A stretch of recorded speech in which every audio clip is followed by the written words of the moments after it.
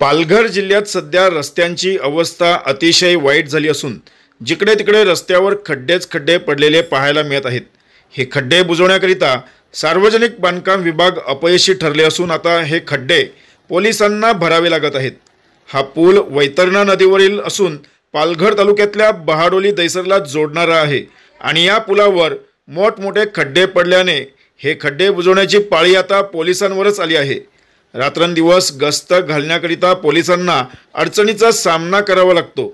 याकरिता मनोर पोलिसांनी भर पावसात बहाडोली ब्रिज येथील सिग्नल व्यवस्था सुरळीत करून खड्डे बुजवून वाहतूकही सुरळीत केली. हे खड्डे जरी तात्पुरते बुजवले असले तरी यांचे कार्य मात्र कौतुकास्पदच आहे.